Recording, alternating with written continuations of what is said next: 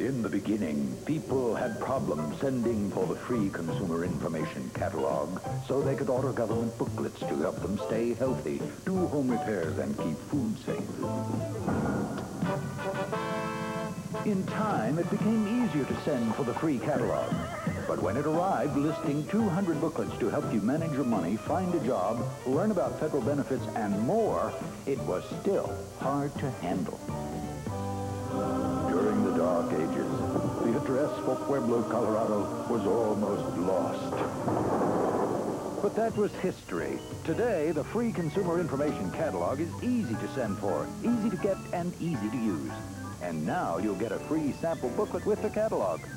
So send your name and address to Free Catalog, Pueblo, Colorado 81009. Do it today. It could be the best thing you've done in ages.